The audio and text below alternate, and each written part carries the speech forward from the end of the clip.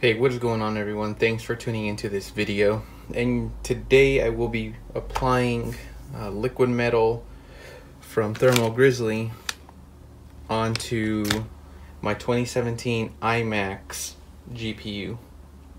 Now this GPU is a Radeon Pro 555. Uh, it has 2 gigs of GDDR5 and I decided to do it because you know it, it's an exposed uh, GPU, very easy.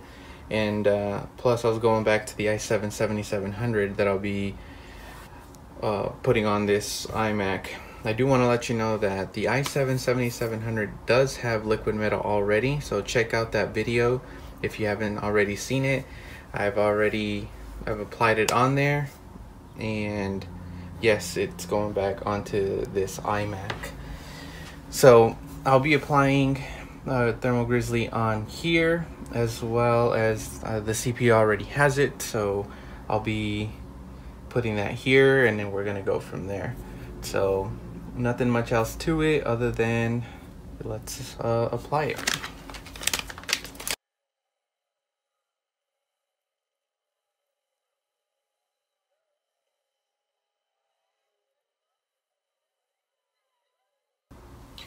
all right that was pretty easy. Now I will not apply any more uh, liquid metal on here because it's kind of hard to tell from the view that you have it right now.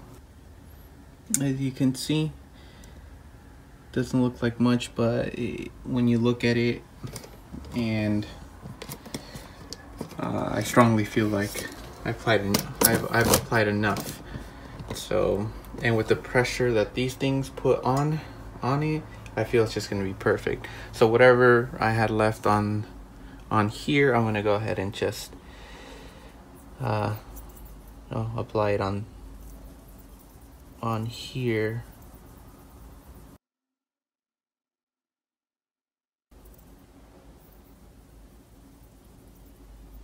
And now I feel it's gonna be enough.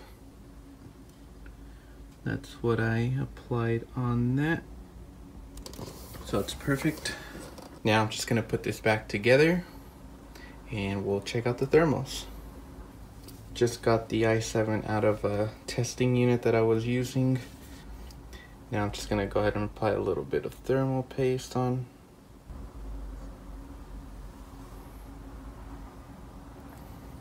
All right.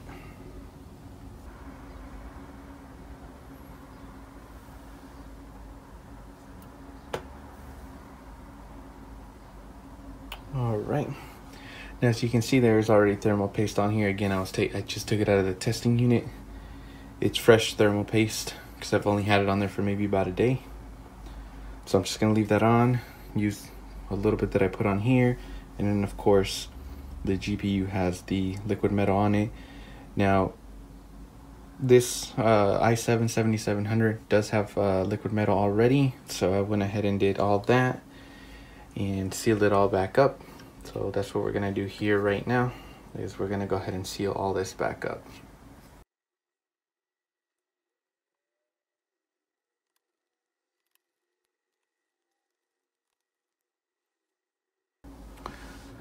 Alright, one mistake I did on the other one was I actually bent the CPU.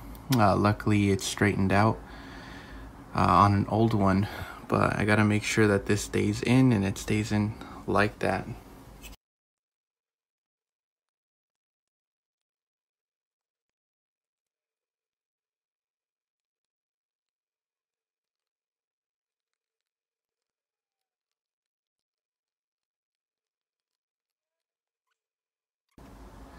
Finally got that all sealed up as you can see that processor right there. That line, that silver line right there, that's that processor. And we have it all secure. We're gonna go ahead and assemble it back up. Hopefully for the last time